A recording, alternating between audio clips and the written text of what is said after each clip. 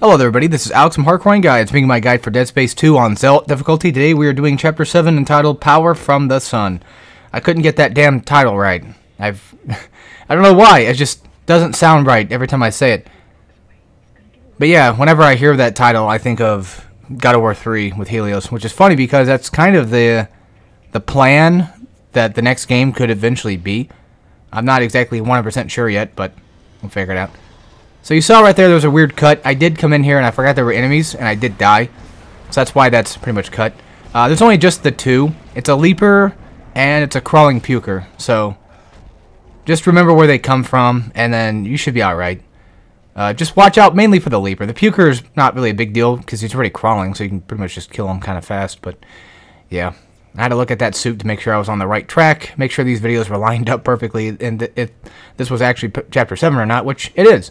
So, and of course, what they mean by power from the sun, they're pretty much talking about like going outside to the solar panel thing, and then just you know readjusting the trajectory of it and trying to turn on the power or whatever it was. Again, I don't remember to be honest, but yeah, coming out here, uh, a few things. Of course, you're gonna you know shoot the canister things, and you're gonna let them kind of blow up and do what they need to do. I don't know what I'm doing here. I I don't know why I was doing that for. I it took me a minute to kind of remember and realize like, oh yeah, that's right. I'm supposed to go down here and lift the elevator. So I had a bit of an issue, and I think there might be a cut that comes up later. And it wasn't like me dying. Oh yeah, but down here, schematics and power node. That's the main thing that you want to kind of look out for. But you'll pretty much find that. Uh, go for the pulse rifle, you know, one-shot trick. There you go, easy peasy.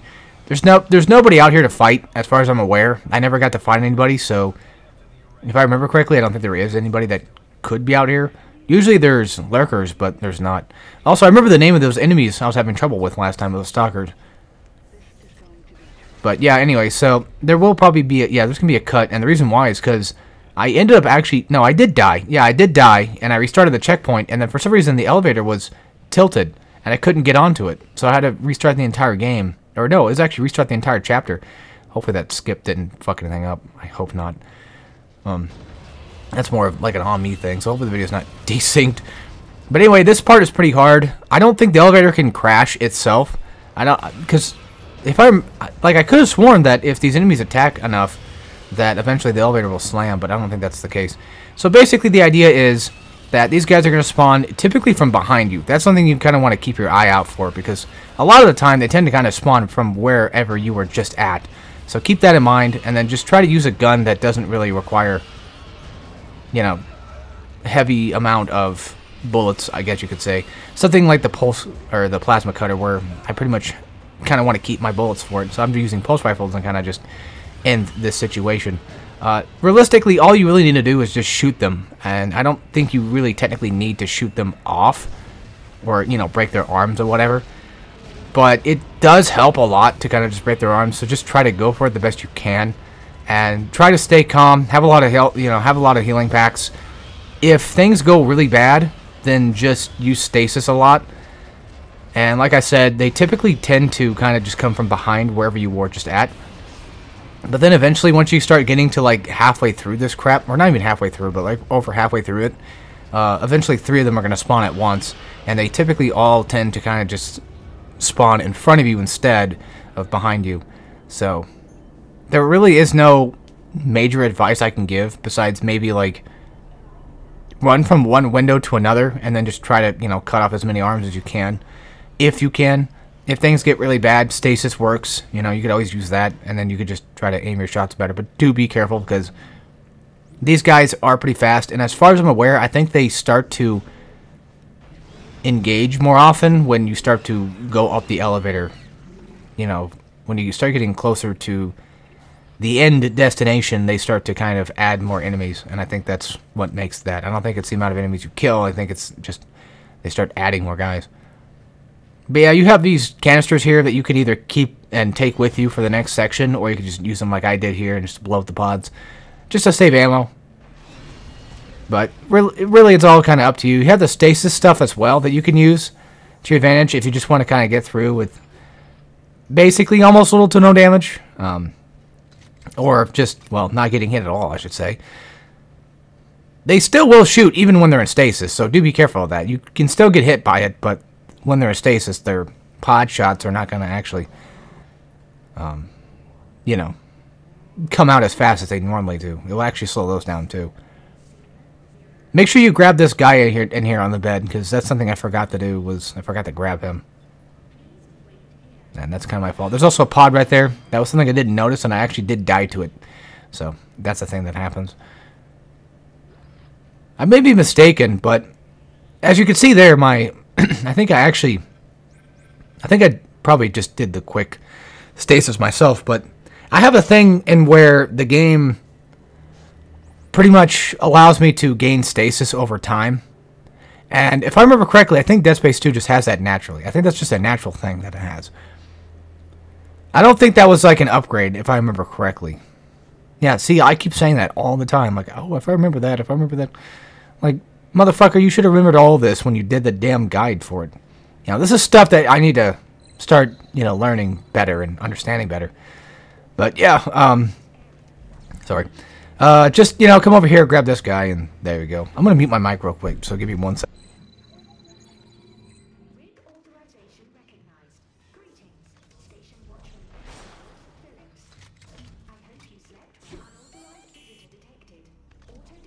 Damn, I wish this fucking mic mutant thing would work.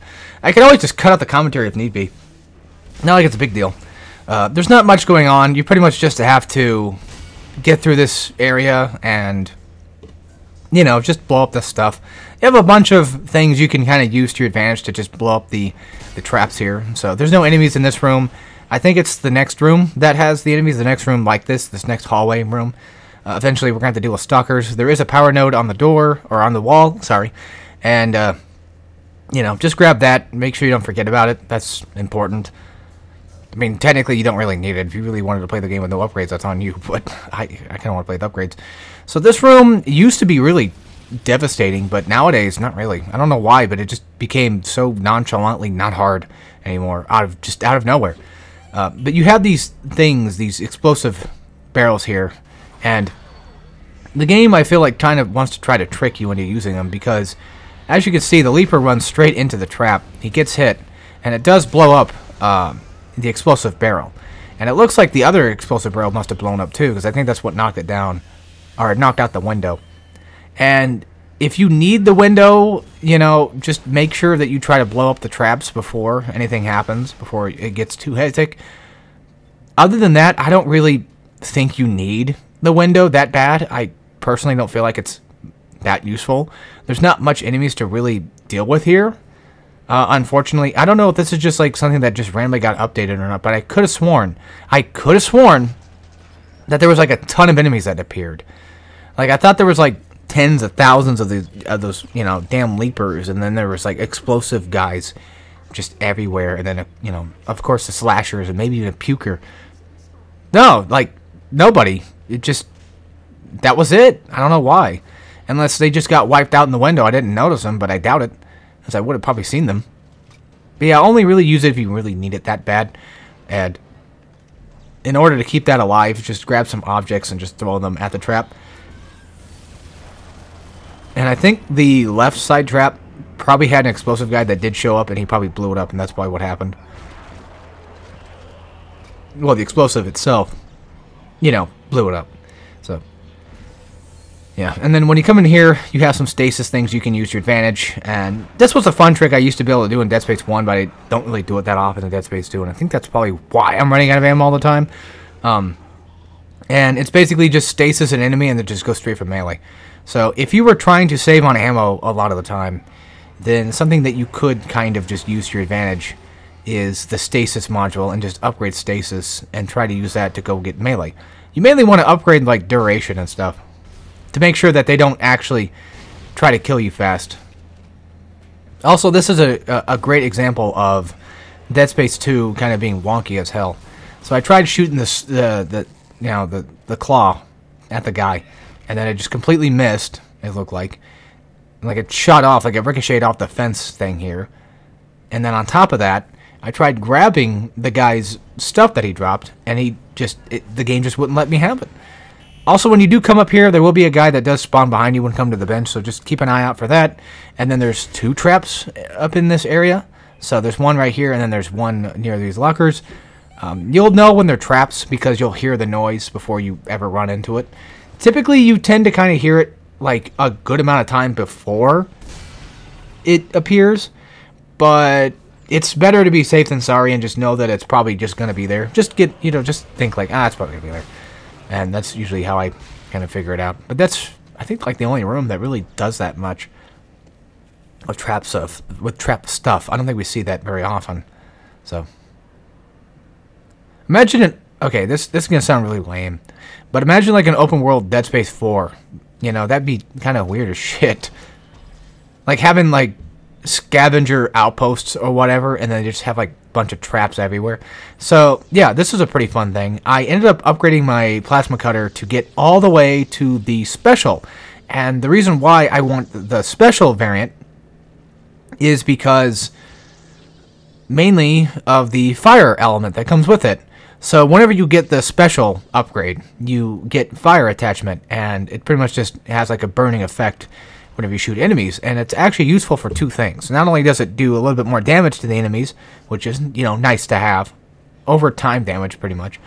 Not only does it do that, but on top of that, if an enemy dies, instead of stomping them or trying to hit them, it'll actually just burn them down. So, yeah. Now, in this O2 lacking area, I couldn't think of a good word to call it. Yeah, my brain just went straight to that. There's two stalkers in here. There's one, like, coming right from behind me, which, of course, you know, I got hit by because I didn't have a chance to escape out of that little thing. So just, you know, make sure you don't try not to get hit by this guy. Uh, but yeah, there's only just the two, and then after that, it's pretty much just all said and done.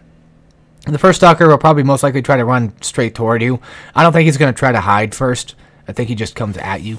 And then once you come down here is probably when the second stalker will probably end up trying to chase you down. So he's, you know, hiding away. See if you can locate him before things get bad. Yeah, like, I, I guess what I'm trying to say is, like, you know, what if you were on, like, a planet on Dead Space 4 and it was open world-ish, and then you could find like outposts that were either kept by humans at one point or still are, and then you know there'd be like tons of traps set up or something, and you have to kind of like try to figure out your way to get through them.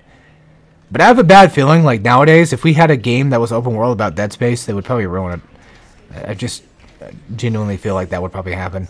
I'm not a big fan of open world games anyway. That's that's kind of my thing, regardless. But sorry about that. If you heard that noise, that wasn't supposed to be in the fucking video, but that was a a water bottle that I have that um, seems to have like a lot of air pressure inside of it or something. I don't know. So hopefully that didn't spook you. But yeah, the idea here is just you just want to put these things in the right order. It's not exactly the most obvious thing at first, but then when you kind of look around the room, you're like, oh, okay. And then it makes sense. But don't forget, you know, don't leave without hitting this, I should say. Don't forget about this. And then, if I remember correctly, I don't think the door opens. I think you have to just climb through the vent again. But yeah, I feel like everything's trying to stop me from recording today. I don't know what's going on. Like, my voice is all fucky. Uh, I got my, you know, water bottle making noise. Uh, my computer is just, you know, doing its fan thing like it always does. It's having trouble. It's it's it's having trouble breathing like it usually does. I haven't dusted it in a while, so that's probably why. I should probably do that actually after this. Yeah, probably. But yeah, back to what I was talking about. If we get anything Dead Space 4 related, please don't make it like God of War 2018. Please don't do that. Again, it's not that 2018 was really that terrible. It's just that, I mean, realistically, it just wasn't enough. It just felt like padding the game. And then it ends up just getting to the point where we just pretty much just enjoy Ragnarok more anyway. Um, so, yeah, this guy will spawn in. Just be careful of that. He doesn't really have an advantage. Uh, he has a disadvantage of just falling into the into the room and having little to no time to actually act. Also, this is just a me thing, but I'm not sure what the hell um, the blue signal is supposed to mean. I I've never figured that out. I don't know what that's supposed to mean. Does it mean like okay, you're getting close but you're not really there, or does it just mean like I don't know, like maybe a secret object opens, but I've never found anything that could be a secret. And I think the only way to get into the second room is to actually, you know, get the green to to work. Or get it to turn green, I should say. So, I don't know. I'm going to mute my mic again real quick. Sorry.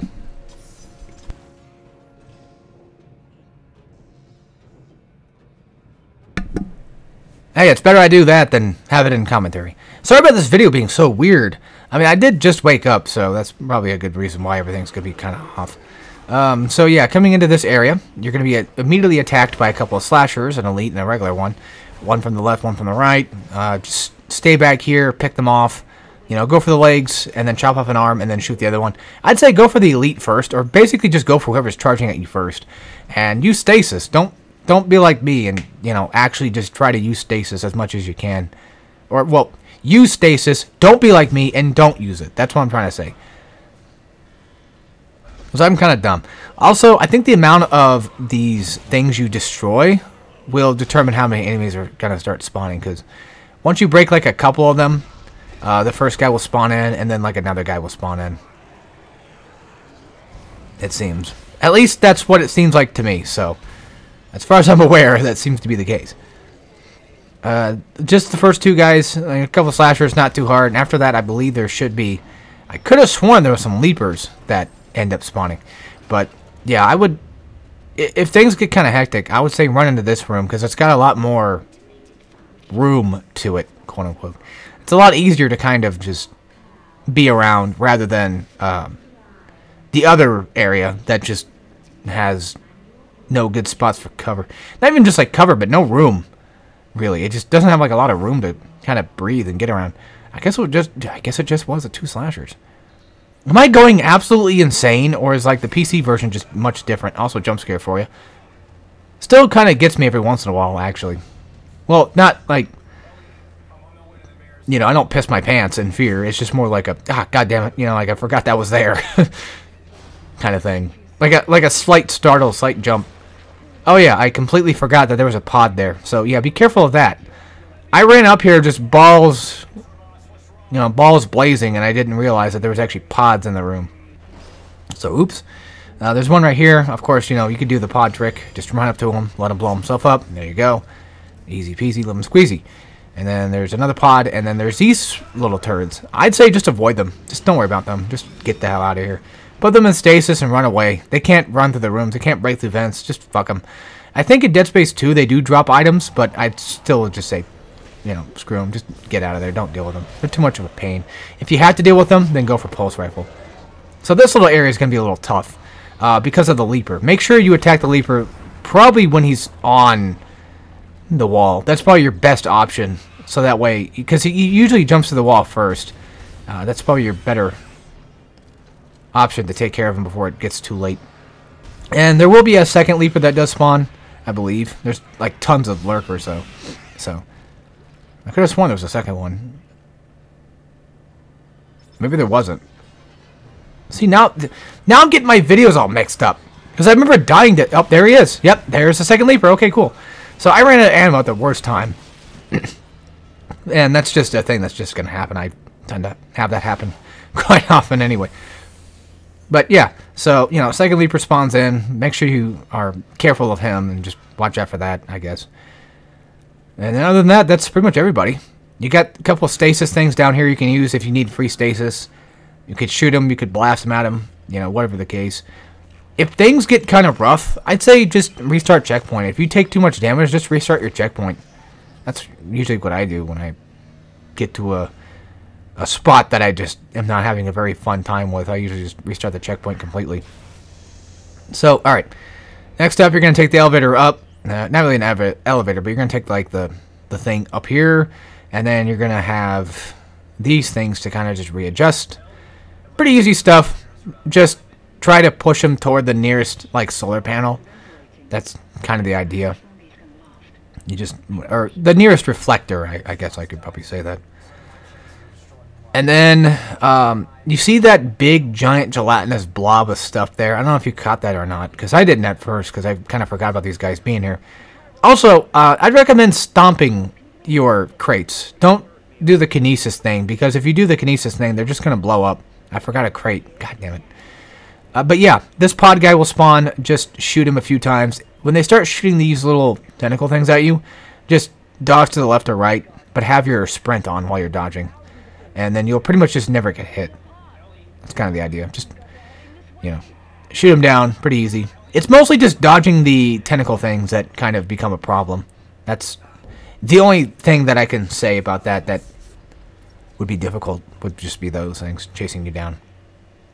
And the farther you are away, typically you can have a better chance to kind of just avoid them. But they are homing though, so be do be careful of that. They are homing. Just remember that that's a thing. Uh, let's see. I think this is one of those ones I gotta readjust as well. You pretty much know whether or not you have to readjust it or not if, well, you know, it's looking in a different direction, and then on top of that, it's not, um, you know, it has the kinesis thing on it. I think, yeah, I guess it's only like the two we have to reactivate. I thought there was three. This Mandala effect shit's really bugging me right now. this whole thing is really pissing me off. Something else to keep in mind is when it comes to Dead Space 2, O2 is so common. Also, I guess I somehow made it to where the game just gave me free O2 forever. I don't know how that happened. I don't know what kind of bug this is. It just... I don't know. It just happened. I don't know what to tell you. I, I don't know how I, I activated that, but I'll take it. So, O2 is a thing in this game that you don't really need to upgrade, like, hardly ever. Yeah, there was that elevator section. Uh, so I'd say, if anything, like, maybe one or two upgrades would probably be enough to kind of get you through it. Possibly. But as far as I'm aware, I don't think you really ever need to upgrade O2 nearly as much as you do in like Dead Space 1. Because uh, you don't really go outside as much in Dead Space 2. Well, I mean, you have your times where you do, but you're not really out there for forever. You're not really doing the engineering stuff, quote unquote, as much as you think you probably would. Once all said and done, you're gonna blast off like Team Rocket and then just make your way to the giant ring thingy and yeah, so this I think was actually in the trailer, wasn't it? I think this was in the trailer for the for the game. It had the Smashing Pumpkins song, "Rat in the Cage." That's what it's called, right? Not Rat in the Cage. What? No, I think it's kind of different than that, though. Fuck. I'm supposed to know this because I actually like that song. I actually kind of like Smashing Pumpkins, and I'm supposed to know this. But I remember uh, seeing the trailer for Dead Space 2 and being really hyped for it. Get really excited. Watching it on my grandma's computer. yeah. Kind of a weird, vivid memory, but that's just one of those things. Luckily, that part's not too long. And that's another cool section. I kind of enjoy that one. But I have nothing to really commentate about because, well, it's nothing really to talk about. Just avoid avoid things as much as you can. This does lead straight into the next chapter, but I'm just going to include this section just because of it. Or just because it doesn't exactly show the next chapter name just yet. It's going to be a bit before it does, so. But as far as I'm aware, we are probably kind of in the next chapter-ish. Doesn't matter. Doesn't matter. Let me just go ahead and... The video's already fucked anyway. I already, you know, messed up everything, regardless. In terms of uh, noises in the background, like, you guys can probably hear my fan going off. I sure as hell can. Yeah, there you go. Bought a couple power nodes, bought a health pack, bought a couple ammo, that kind of thing. Just in case, because if I remember correctly, uh, there's the horde fight. So, yeah, this is the horde fight. Make sure you stock up on stuff. You don't need to be that crazy about it, but just make sure you have enough stuff to kind of go around. Sorry, I keep... Yeah, I know. Take care of it next time. Uh, video's already fucked anyway. I don't care anymore. people are already tuning out at the five minute mark. So coming into here, you know, the swarm's going to start spawning in, and I use pulse rifle for mainly this exact reason. This is why I run pulse rifle, so I can deal with these little shits better and just a little bit easier. This is a timed event, and as far as I'm, I know, I don't think killing the enemies is really going to, you know, make it go by any faster. I'm pretty sure the whole thing is timed. Your best bet is to always just look behind you and understand the waves. So basically, you're going to have the swarm spawn first. After that, it's going to be a slasher and then a leaper. And then after these guys are dead, you're going to have a couple more enemies that are going to spawn, which we'll see in a second. So as long as you know like which enemies are going to spawn and when, is kind of a good idea to get a, you know, to understand when or like who's going to show up. So next up, you know, when you get that next voice call, slasher, some swarm, and then a puker. The puker is what you really kind of want to get rid of first. Because if you shoot you with his slowdown, that's going to suck. Um, and then the slashers are also high priority as well. And leapers are definitely, definitely even higher priority. This is when I would suggest having stasis just up the ass. And then coming like near the door to make sure that you're close to getting ready to kind of leave. Standing here might not be the best option, but it definitely makes it to where you end up getting a choke point. So that way these guys do kind of have to funnel in to try to attack you. So something to kind of keep in mind. Yeah, I didn't even see the puker that far back. But this is why I keep a plasma cutter ammo ready. Is just for that very sake of enemies running too close to me or running toward me and I can get a quick knockoff on their legs. Did I never edit this part out? Are you shitting me? I thought I deleted this part. What the fuck? Ah, I'm so sorry. This entire section was meant to be cut out. But now we have to sit here for the next two minutes listen to Ellie talk. Son of a bitch. Well, if anything, I'm just going to probably end commentary here then and let it be that. So, hopefully you guys enjoyed uh, as much as you could.